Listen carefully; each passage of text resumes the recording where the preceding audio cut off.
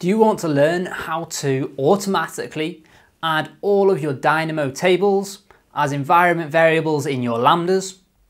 In this video, that's exactly what I'm going to show you how to do.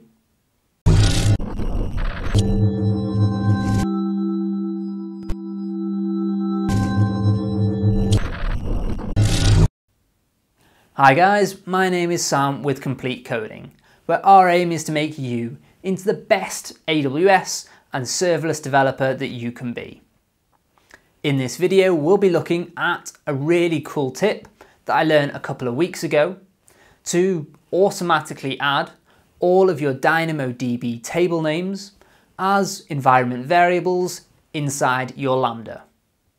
There's nothing more annoying than adding a new table and adding some new APIs and them not working after half an hour or an hour or even longer of trying to debug why they're not working, you realize that you just haven't passed in the table name to the Lambda. This is really frustrating, and with this cool little trick, that is all a thing of the past. So let's jump into the code and we can see how to get this set up. Now don't forget, if you learn something new in this video, It'd really help the channel out if you hit a like button. So if we start by looking inside one of our lambdas, I'm going to open one of those up and find the part where we're passing the parameters into the get query. What we need to do is pass in a table name.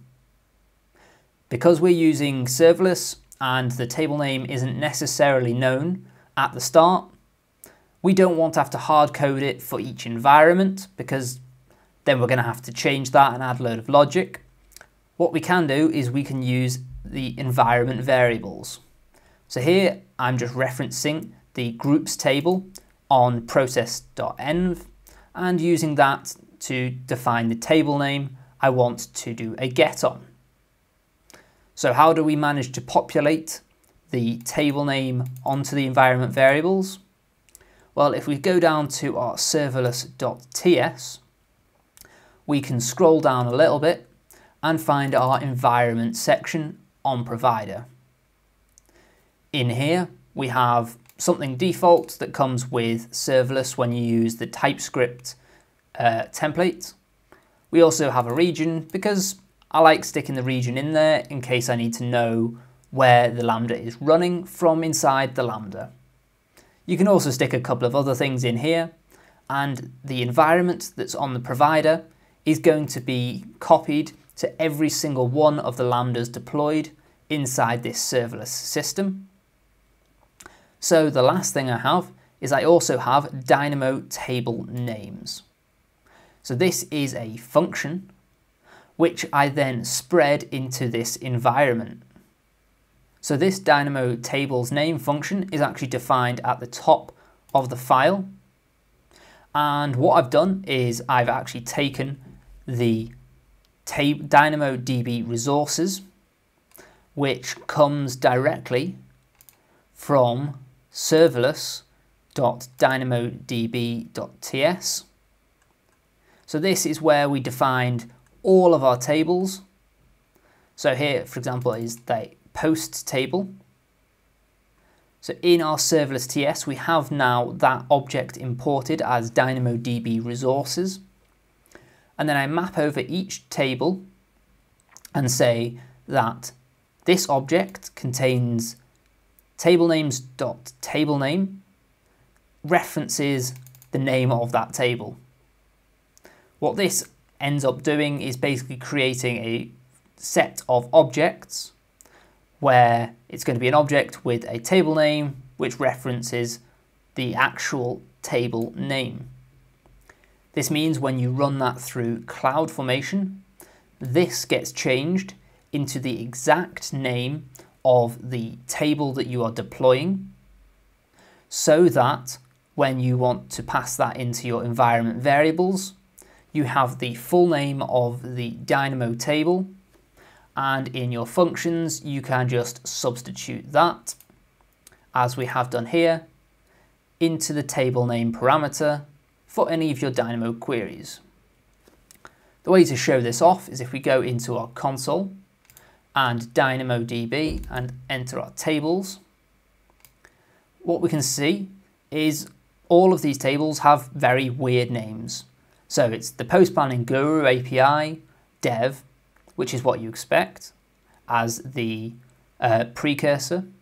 You then have the name of the table, which is user table, but then you have a string of random digits on the end, and that is so that if you had two environments deployed to the same AWS account, they wouldn't overwrite each other or conflict when you try and create the second set of tables in the same environment. Now, obviously this is really useful for deploying, but are we able to get this long string into our lambdas? If we search for lambda and open that up, then we find one of our lambdas, so this is the update schedule lambda. We can go down to configuration and in here there should be environment variables.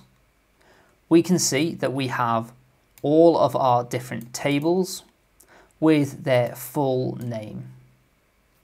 This just means that everything works nicely together and we don't have to worry about adding the exact table names into the environment variables because if we go back to our code and if we were to add a new table to our DynamoDB config, so there'd be another one of these, when we run SLS deploy again, inside serverless, it will rerun this function, which will get the new config, and with that new config, it will then add that as a new environment variable on every one of the lambdas. In this video, we've looked at how we can use a really cool little tip to manage to automatically include our table names as environment variables in our lambdas. This works whether you've hard coded it in your config or if you're using lots of parameters. So if you want to be able to use this yourselves, I've included a link to a snippet which will allow you to do just this and hopefully you find it really useful as well. So thank you and I'll see you in the next video.